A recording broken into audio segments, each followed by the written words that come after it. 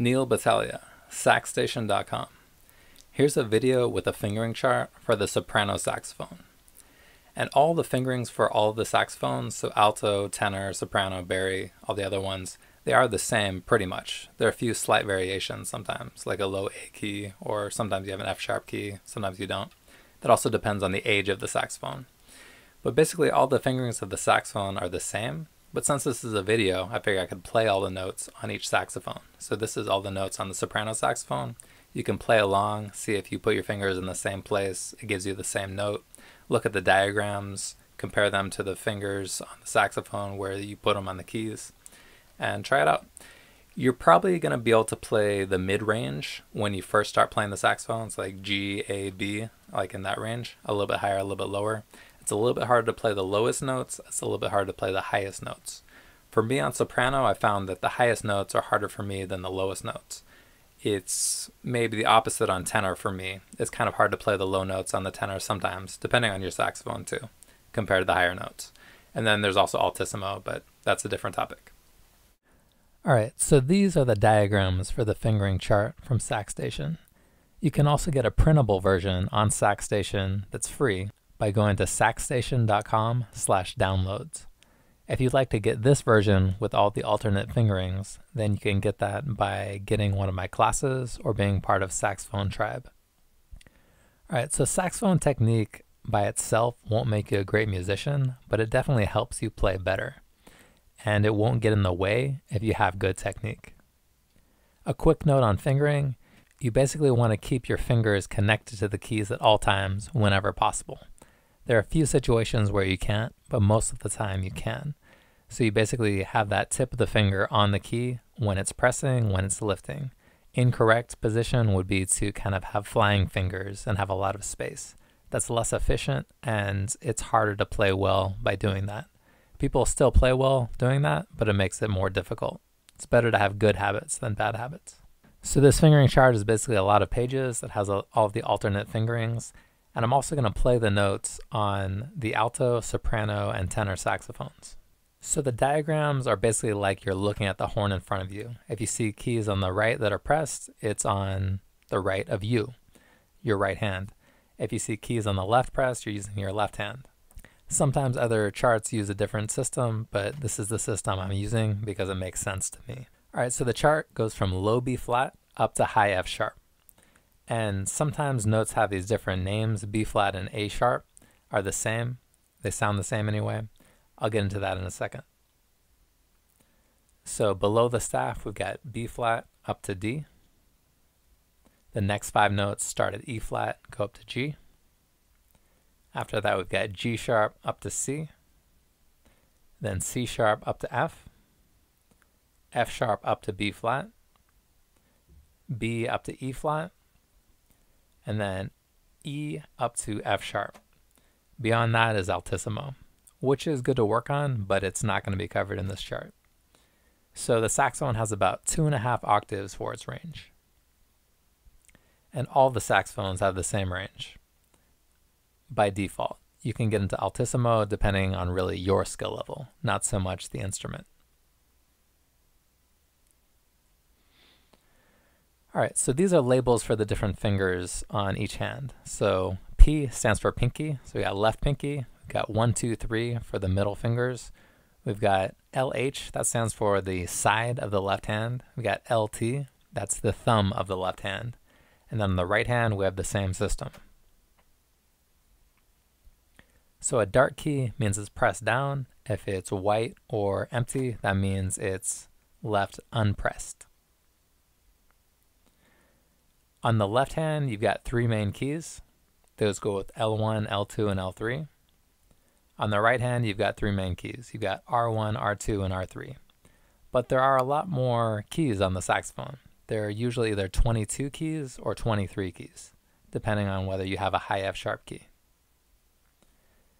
The left hand palm keys are used when you keep your fingers on the main keys with your left hand, they're just not necessarily pressed. Sometimes they are, sometimes they're not.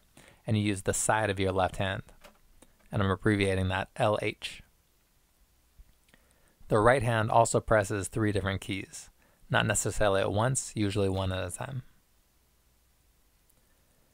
With F sharp, there's an alternate key for the low and the middle F sharp, and there's sometimes a high F sharp key. That's a little bit more modern. If you have an older saxophone, you might not have it. If you have certain models of certain brands, they also might not have it. The left hand table keys are all pressed by the left pinky. On the modern saxophones, these tend to be more ergonomic. Sometimes there's a little bit more difficulty in going between them in the transitions on an older saxophone. For the E flat and C keys, you use the right pinky. So you either press one or the other or neither. The high F and the bis key, or sometimes called the front F, are pressed with the first finger on the left hand and the second finger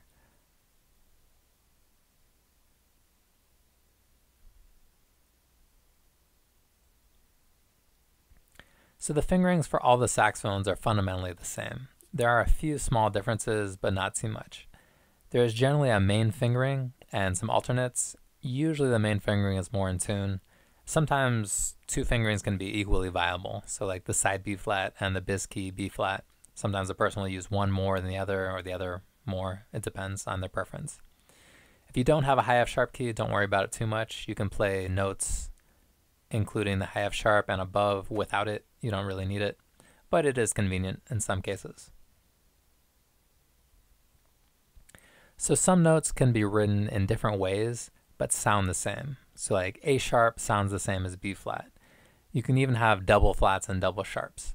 So I'm writing some of the enharmonic equivalents next to each other because like A flat is just as common as G sharp. Depends on what key you're in and what chord and everything. And I'm also writing some less common pitch equivalents below. So I'm saying that some alternate fingerings are more equal than others. So basically some will work better, be more in tune. Sometimes you just mostly want to use an alternate fingering when it's played quickly and you transition to another note and it won't be noticed as much that it doesn't sound quite as in tune or as good. At the same time, and you usually want to use the main finger. You usually want to use the main fingering if you're going to sustain a note. The saxophones play with a treble clef, so the treble clef is implied for all the notes in this fingering chart. All right, the lowest note is called B flat or A sharp. There's just one option for it, and you might have difficulty playing this note when you first start. It is just the lowest note, so that's where we're starting.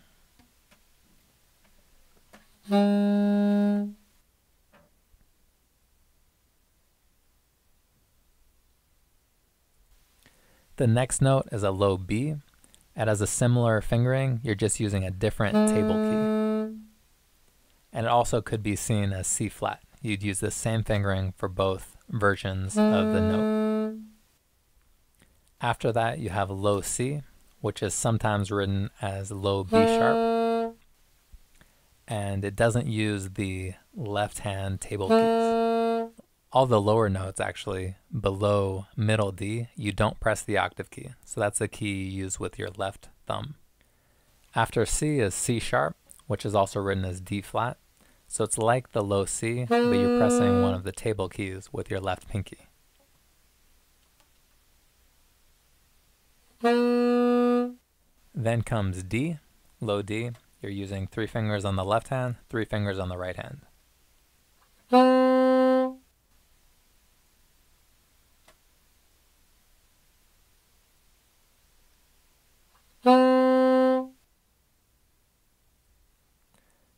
Then E flat or D sharp. It's like the low D, uh. but you also press one key with your right pinky. Here's low E, which can be written as low F flat.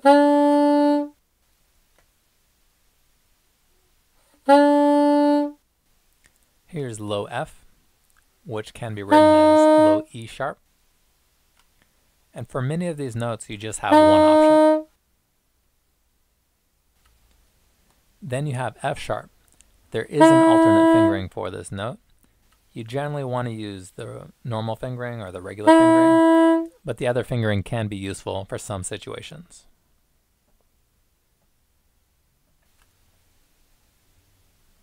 Then you have G. And now we're starting to get into what I call the mid range of the saxophone. The mid range is usually what you want to start playing when you first start playing the saxophone. It's a little bit easier to play than the highest notes and the lowest notes.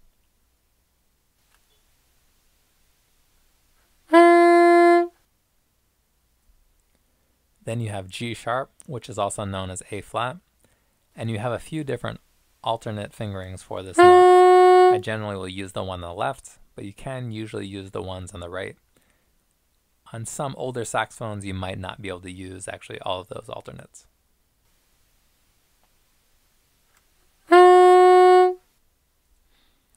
Then you have A in the mid range. We're still not pressing the octave key yet.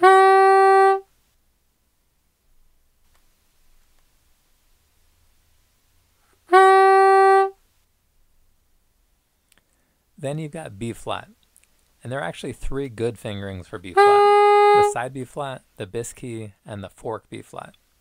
And you've got a couple more alternate fork B flat fingerings. I tend to use the side B flat. Some people tend to use the bis B flat more often.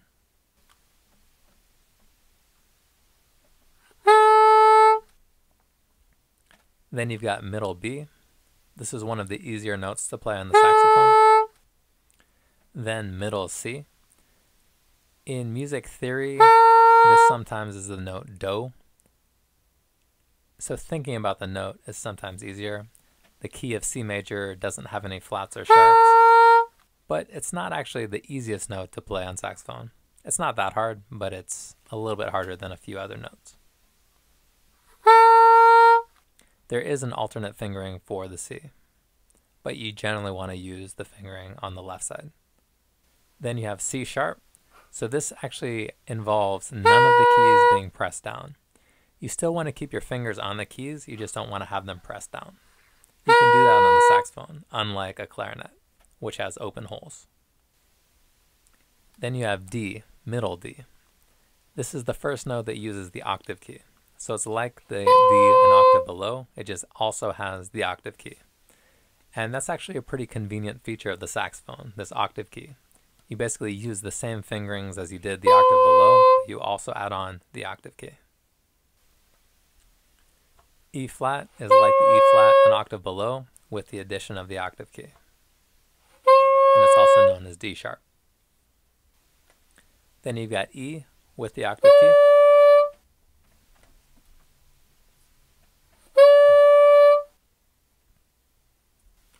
After that, you have F with the octave key.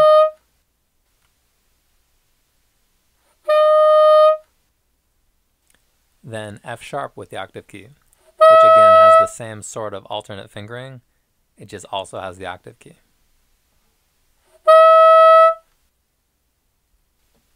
Then you've got G with the octave key.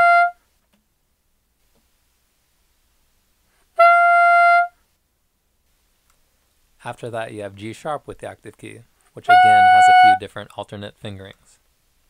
And G sharp is also known as A flat. Then you've got A with the octave key.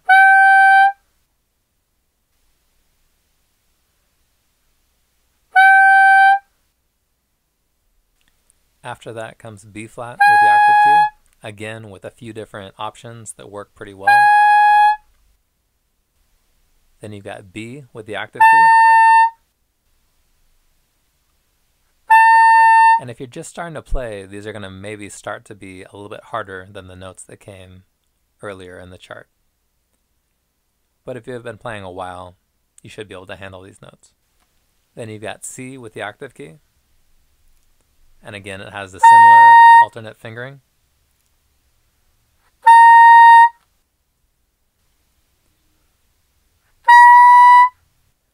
Then you've got C sharp with the octave key.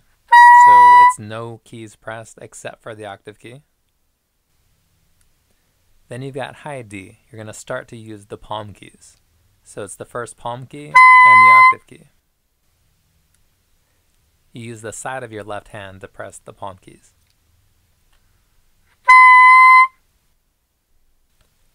Then you have the E flat with the palm keys. So these notes use the octave key, but they're not like the same fingering of the same name of the notes below. Then you've got high E, which uses the palm keys and also the side of the hand for the right hand. There is an alternate fingering which uses the front F key.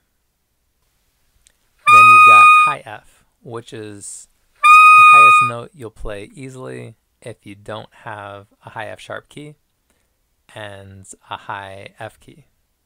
You could stop here if you want to, if you're in the beginning stages of playing the saxophone. Here's high F sharp. Some saxophones do have this special high F sharp key, and you can use this other alternate fingering on the right side. And actually, even if you don't have the front F key, you can play this note without it. I'd like to thank Bret Pimentel for creating the software that helped make this possible. And thanks to Erica Height for using her hands in the pictures earlier for the diagrams. You can go to saxstation.com to get a printable one page fingering chart. Check out the classes and the posts, the other videos. I started SaxStation back in 2006. There's a lot of things there. There's a lot of comments from other people as well.